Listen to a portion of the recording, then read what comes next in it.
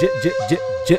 Saludos, saludos con ustedes Mega P, aka The Connection. Welcome to Esto es Plena. Seguimos aquí en Esto es Plena. Nos toca hacer docencia en esta ocasión. Tenemos que hacer docencia porque estoy viendo que es muy necesario en este momento, mi gente. Hay una confusión súper grande con todo. Estoy viendo a gente posteando vaina por postear. Toda una locura. Quiero mandarle un saludo a mi gente de Flow Criminal por este pequeño clip.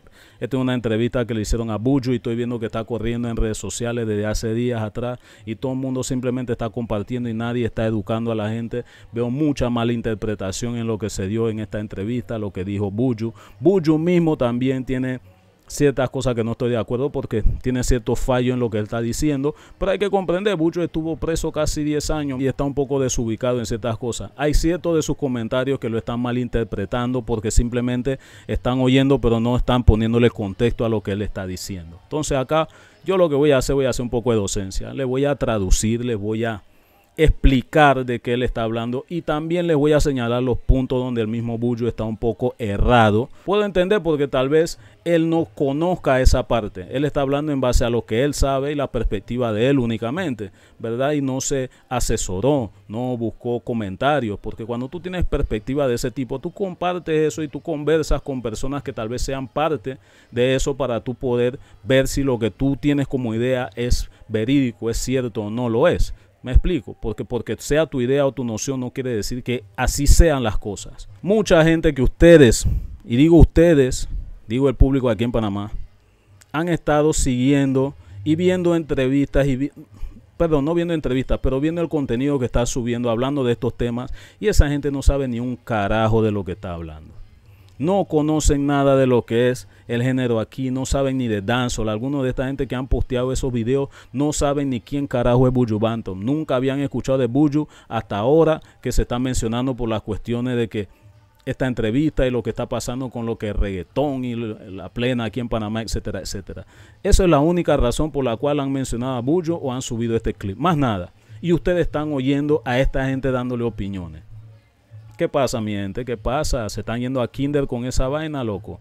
Hay, hay, uno que yo vi casualmente un video y el man dice que él no conoce nada de esto y que él no se hace eh, un conocedor ni nada de eso, pero él está subiendo el contenido que a sus fanáticos les gusta. No está diciéndole nada que ustedes no sepan, porque simplemente siguen en la misma confusión. Si ellos quieren hacer reacciones, quieren hacer ciertas cosas, perfecto, pero no opinen sobre algo que no conocen. Y ustedes mismos deberían tener criterio de saber, este no es un contenido para que ustedes suban porque no conocen ni un carajo de esto, pero no quiero hablar mal de otros canales, no quiero hablar mal de otras páginas, no, no, es, mi, no es mi lugar hacer eso, pero tengo que hacerlo en este momento porque porque están tan hambrientos de clics y de likes y de suscriptores y vainas que hacen lo que sea. Yo subo reacciones de hip hop, de etcétera, y tengo mucho contenido porque tengo muchos suscriptores de República Dominicana. Pero yo no me meto a estar conversando de su género porque yo no, yo no soy de ese, de ese género. Yo no conozco la historia de su género. ¿Qué carajo me voy a sentir yo opinando sobre el género de ellos? ¿Quién me da a mí esa, ese derecho? Y tengo muchos suscriptores que los quiero mucho. Toda mi gente RD que me ha apoyado, que son los que van a mí 100%. Igualmente yo voy a ellos, compas. Pero yo no me meto en su género de esa manera. Yo hago reacciones sobre la música. Porque yo conozco de hip hop. Yo conozco de reggae, de dancehall, hip hop, RB. Eso es lo mío. Eso es lo que está en mi corazón. Eso es lo que a mí me gusta pero yo no opino de lo que es ellos como género porque allá yo no conozco, yo no vi evolucionar ese género. ¿Qué me da a mí el derecho, el criterio para poder decir algo sobre el género y el movimiento de ellos? Yo estoy aprendiendo. Pero ¿quién le da a estos el derecho de estar opinando y dando estos tipos de videos y hablando de entrevistas y eso? No, señores, se están pasando. Están pasados, están pasados y ustedes se lo están permitiendo. No es ahí, ahí no es, ahí no es hagan sus reacciones, digan, oye, esto de qué se trata, hagan preguntas y que la gente le explique, pero ustedes no se sientan que son, que pueden opinar en esta vaina, no es su liga. Entonces yo no me quería meter en nada de esto, pero tengo que hacerlo porque estoy viendo que están creando más confusión. Señores, mucha de esta gente solamente sensacionalizan el contenido porque es tendencia y lo postean de una vez porque están buscando que la gente clique. Están buscando que le den click, play. Ya, eso es todo. Más nada, no les interesa este género, no les interesa ni ustedes, la verdad. Simplemente es para que le den clic, le den play. Ya. Vamos a volver a lo que es la base de esto. Un, yo soy fanático de Buju desde peladito. Desde el primer CD de Buju Bantan, el primer álbum que salió, que fue Mr. Mention y Stamina Daddy. Los dos salieron el mismo año, 1992 por ahí. Buju es uno de mis íconos cuando se trata de música en general. Buju es uno de mis íconos. Pero ahí tengo que llamarle la atención porque es la cagó, se equivocó en dos que tres vainitas. Muchas de las cosas que está diciendo tienen base, pero hay otra que se equivocó. Entonces vamos a hablar de eso. Igualmente en lo que se trata del género hay unas conexiones que mucha gente no hace. Ahí él habla de lo que es los reggaetoneros y él hace una, un comentario de lo que es el general pero no tiene que ver con lo del reggaetonero y esto es lo que la gente no entiende. Son otra época, fueron otros tiempos, las cosas sí se, se hacían de otra forma y de otra manera. Pero bueno, vamos para allá, hay que hacer la docencia porque toca, loco. Así que bueno, ya ustedes saben que aquí abajito dejamos siempre lo que es el Instagram de Esto es Plena para que quieran nos puedan seguir allá en Instagram. Les conviene porque necesitan un poquito de bases para que no se dejen confundir con todo este sensacionalismo. También, señores, dejamos también en la descripción del video siempre lo que es el email nuestro email de contacto para negocios. Cualquier propuesta estamos acá a la orden. Y también dejamos lo que es la cuenta de PayPal. Si les gusta lo que estamos haciendo y quieren cooperar con nosotros, ayudarnos a crecer el canal y a crear mejor y más contenido para ustedes, se les agradece cualquier contribución. Muy importante, quiero mandar un saludo a Flow Criminal, que son los que sacaron este clip y lo pusieron ahí. Estamos utilizando un clip de Flow Criminal. También quiero mandarle un saludo a mi gente de Somos Panas 507. Suscríbanse al canal de ellos. Vamos a entrar entonces en el video. Quiero que presten mucha atención. Le voy a ir haciendo un breakdown o básicamente explicándoles paso a paso todo y también dándoles origen de por qué de esos comentarios. ¿Ok? Muy bien, entonces vamos para allá.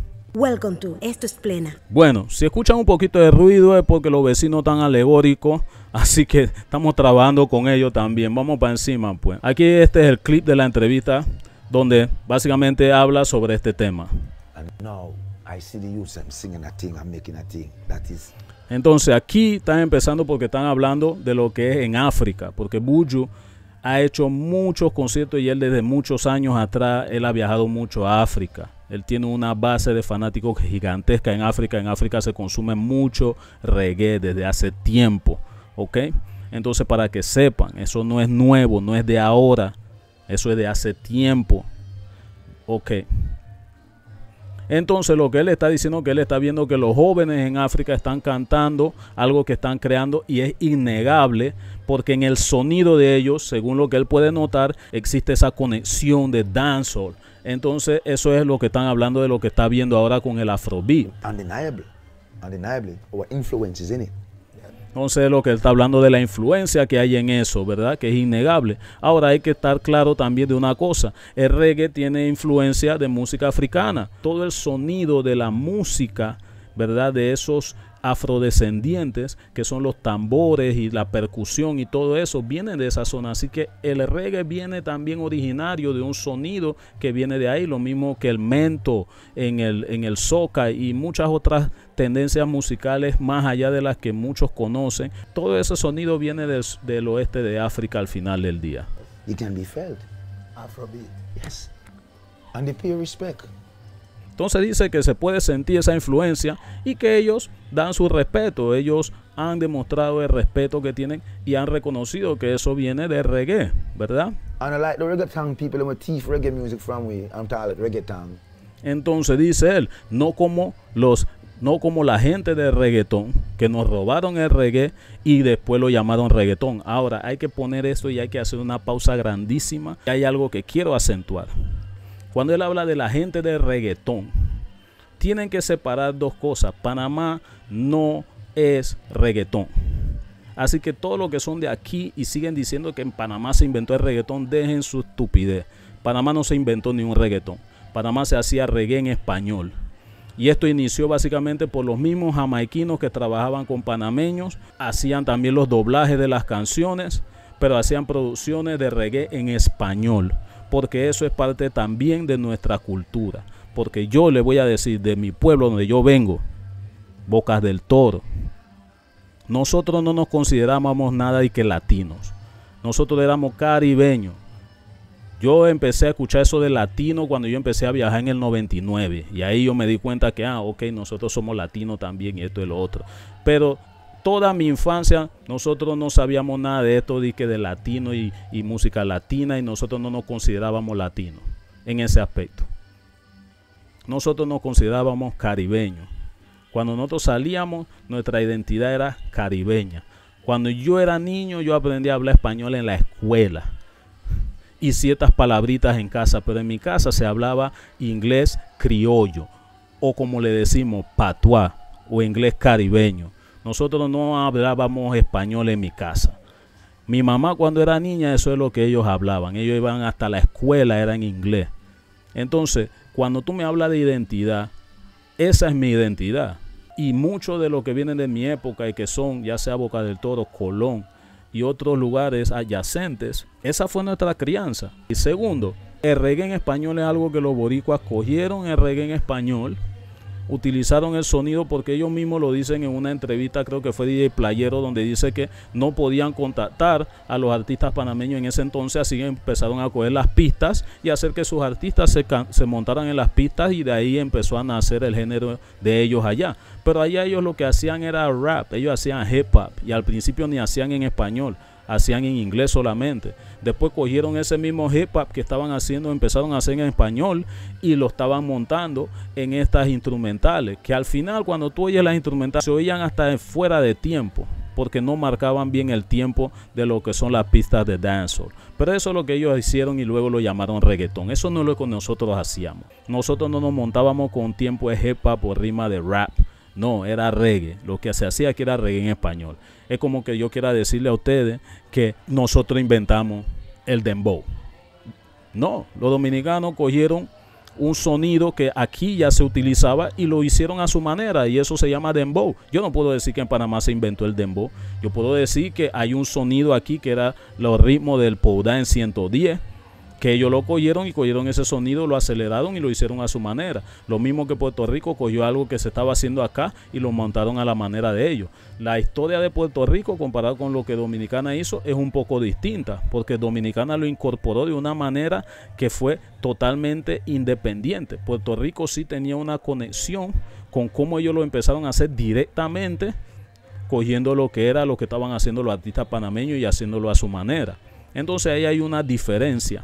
Pero igualmente yo no puedo decir que nosotros hicimos nada de eso. Nosotros hicimos aquí reggae en español, plena. Así que dejen esa estupidez están hablando esa huevazón de que en Panamá se inventó el reggaetón. Eso no es así.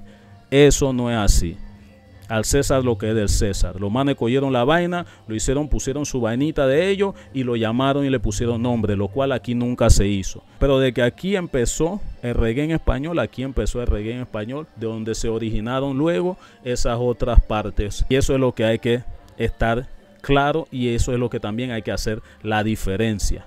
Así que cuando Buju habla de la gente de reggaetón, él está hablando de la gente de reggaetón. Y para ese tiempo Buju también sabe porque Buju viajaba mucho a Estados Unidos. Vas a ver la representación en la parte de reggaetón, en lo que es Puerto Rico. Hay un lapso de tiempo donde la mayoría de Latinoamérica ni siquiera sabía que el reggae en español se originó aquí. Ellos estaban poniéndole todo a Puerto Rico, que hasta el reggaetón, que como sonido, como todo, se originó allí. Y no que habían tomado de lo que se estaba haciendo acá para montarse ellos. No, ¿verdad? Entonces, cuando él habla de la gente de reggaetón, ten claro que él está marcando que eso es la gente del reggaetón. Entonces,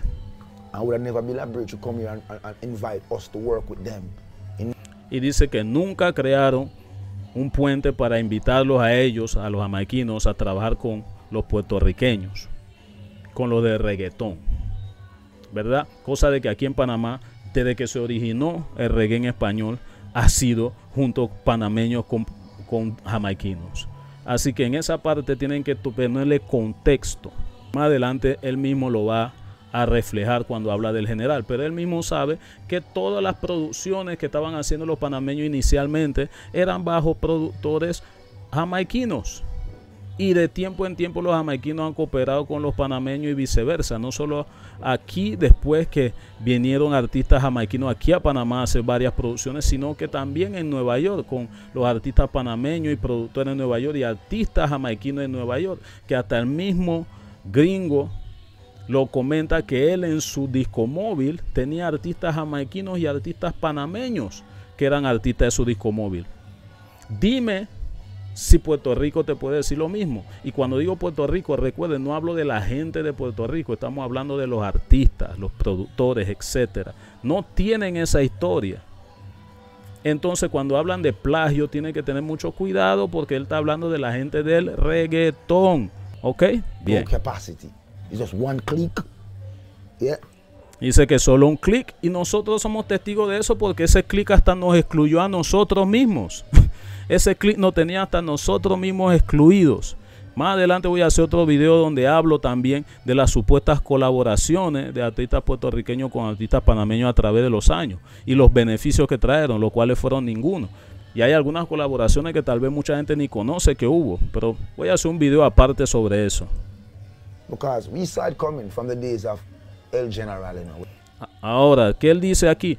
Lo vimos pasando desde el tiempo del general, ¿verdad? Eso es lo que él dice. No, Bueno, no lo que él dice, eso es lo que dice la letra en español. Pero en inglés está diciendo, we saw coming. Nosotros lo vimos venir desde los tiempos del general. ¿Y que a qué se refiere con que lo vimos venir? Se refiere a que cuando uno sacó esa canción en el español, ya ellos podían ver venir, algunos de ellos, porque no todos, pero algunos de ellos podían ver qué es lo que iba a venir en el futuro si esto se seguía haciendo de estar cantando las canciones en español, ¿verdad? Lo vimos venir, we saw that coming. Hermano dice que lo vimos pasando desde el tiempo, así que también tengan cuidado con las traducciones.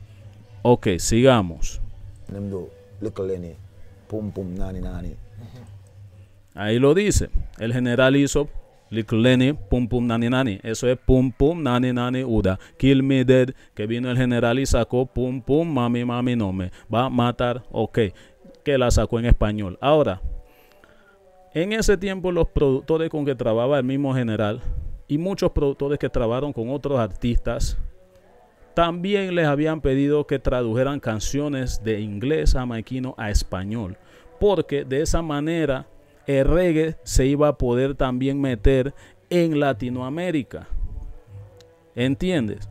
Entonces, todos ellos que trabajaban con panameños en ese entonces eran productores jamaiquinos. Ellos son los que básicamente tomaron esa iniciativa y se vio natural y normal porque uno, es la Black Community. Número dos, son sus mismos primos, por decirlo así, porque hasta yo cuando yo empecé a viajar, la mayoría de mis amistades por todos lados eran caribeños.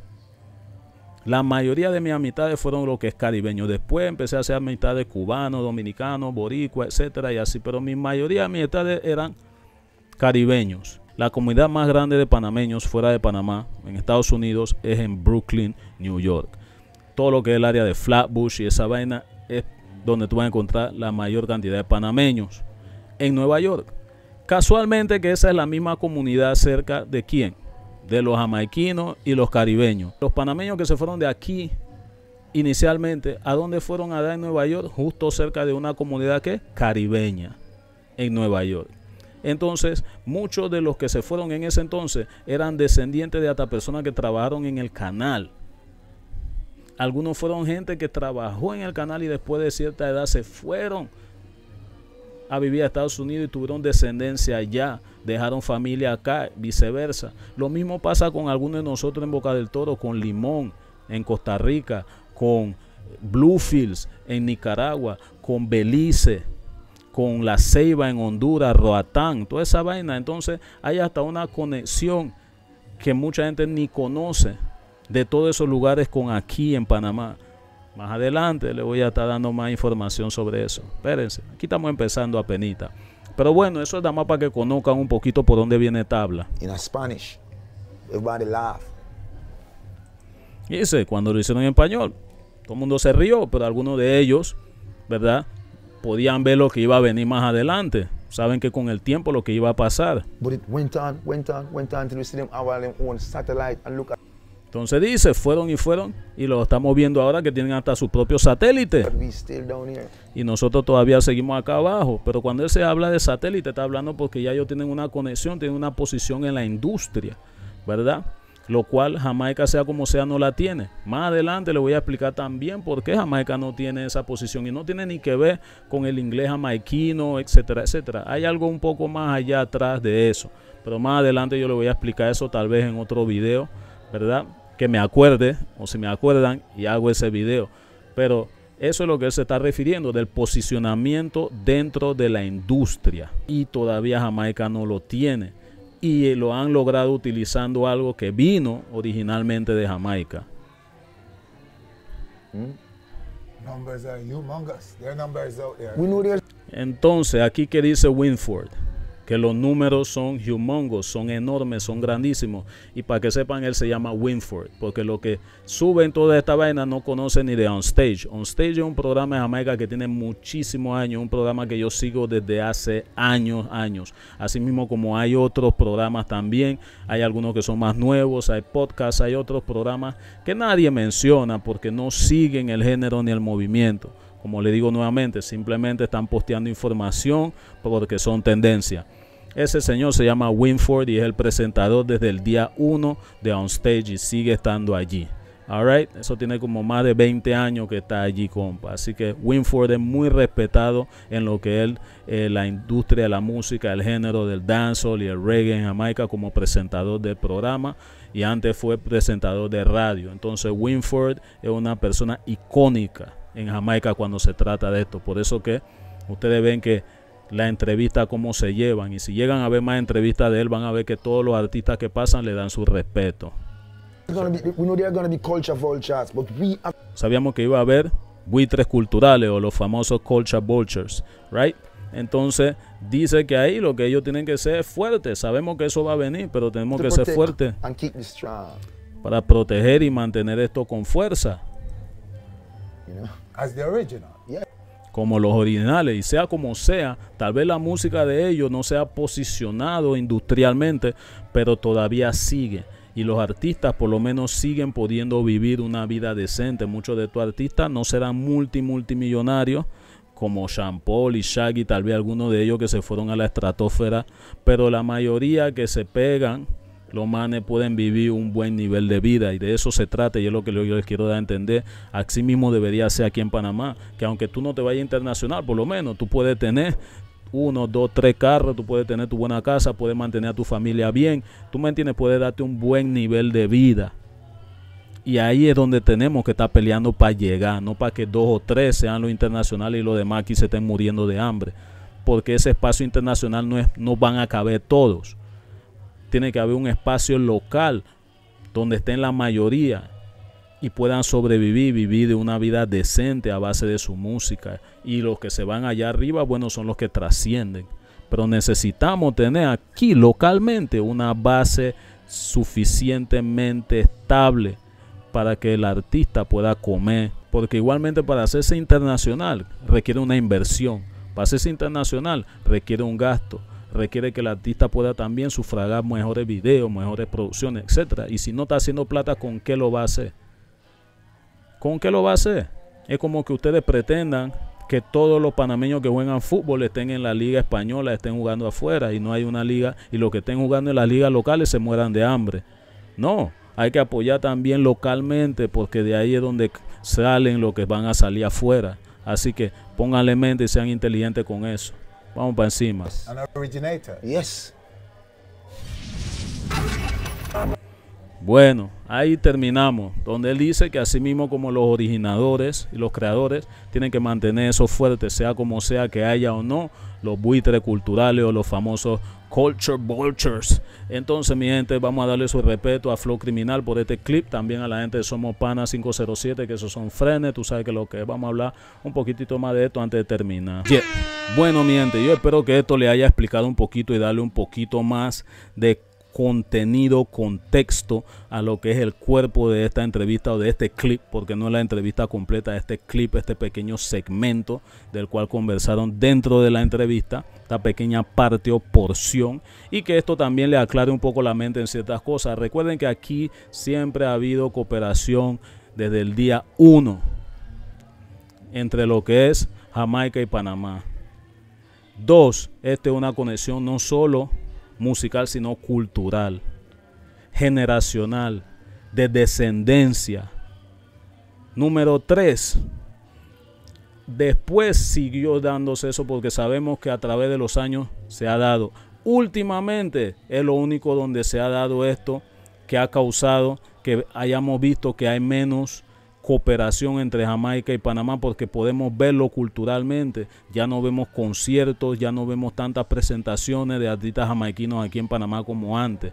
Eso también viene en un video más adelante y le voy a dar los detalles de por qué. También le voy a explicar porque como digo, mi intención no es tirarle tierra a nadie, pero hay jugadores aquí en el negocio, aquí en Panamá, que se han cagado en la música local, se han cagado en la pequeña industria que tenemos aquí, que no es industria, pero para darle un nombre, se han cagado en el género aquí en Panamá. Que muchos están pasando agachados y todavía por ahí la gente les aplaude cuando quieren salir del sótano y, y levantar la mano. No, no, no, no, no. Aquí las cosas tienen que ser como son. Así que más adelante vamos a hablar también de todo ello, porque hay una lista inmensa. No lo voy a mencionar todo, pero vamos a darle luz a toda esta situación, porque para eso es que yo vine aquí a esto, para hablarle a ustedes las cosas que son. Como digo, no es para respetar a nadie, pero tampoco vamos a estar aplaudiendo todo, porque hay ciertas cosas que hay que hablarlas como son. Como dicen en el interior, a calzón quitado.